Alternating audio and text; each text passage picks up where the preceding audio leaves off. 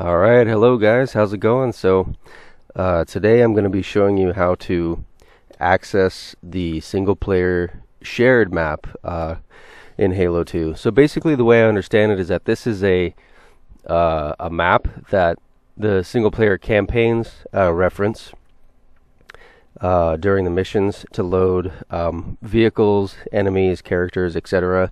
Not every character is there. I don't know why that's exactly the case, but um, anyway, so what I have here is my uh, FTP uh, server situation to my Xbox. So here on the left, uh, this is my computer, which has all the stock maps to where I can drag and drop them over to the Xbox when I want to put the, the stock map back on uh, the Xbox hard drive itself.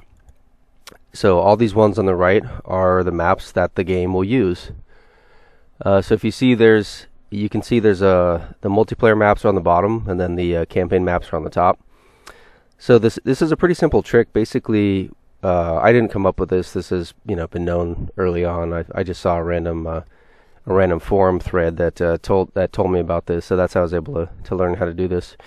But basically, the single player shared map here, which I'm clicking on, that can be loaded like a multiplayer map. So if you go to uh, the multiplayer session, you can load into it.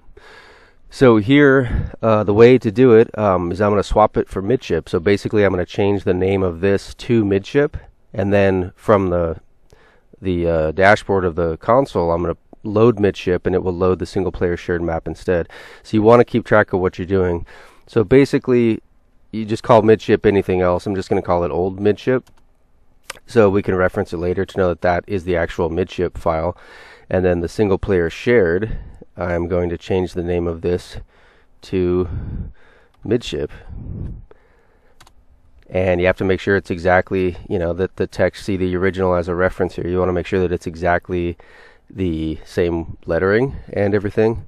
And that's it. So that's all that is needed to be done. And then I'll show you from the uh, Xbox, I'll load into midship and it will load the single player shared room instead.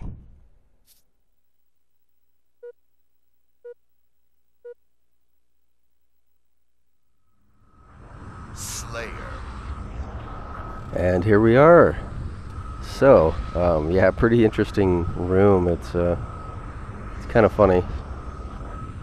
Uh, so yeah, something interesting about this is that the uh, I'll show it in a second. There's there's a health pack on the ground, you know, near the overshield there. I I don't remember seeing that in the game. Um, maybe if someone else can confirm that that was just a beta object, I may, maybe I'm missing something obvious. I literally don't remember seeing that in any campaign level whatsoever.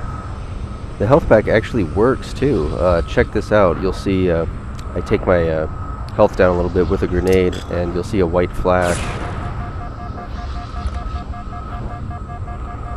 Check that out, that's really cool. That's really interesting, I didn't know about that. So there's a, a functioning health pack in the, uh, the Halo 2 code. it's pretty wild. Yeah, one funny thing about this room is that uh, the uh, start button doesn't do anything, so you uh, you either have to turn off your Xbox console to get out of it, or you have to win. Um, you know, if you're in co-op, you have to win the win the game, and it'll go back to the uh, the the lobby uh, the lobby menu. Yeah, I hope you guys think this is interesting. So I do I do a couple a couple tricks here. Um, so it's not all it's not all chaos and destruction, but uh, all right. Thanks thanks for watching, you guys. Hope you uh, enjoy the rest of it, and cheers. See you in the next vid.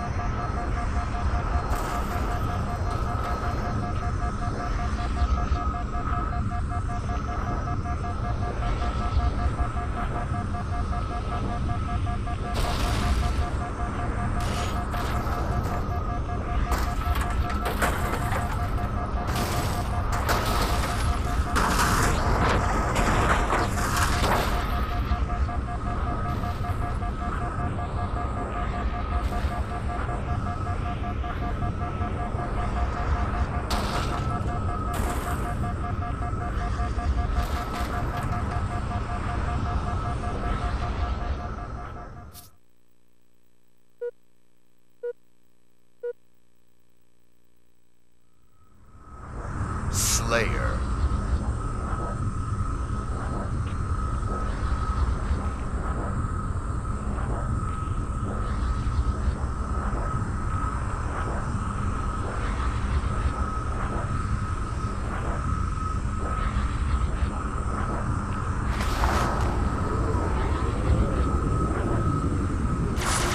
Lost the lead. Gained the lead.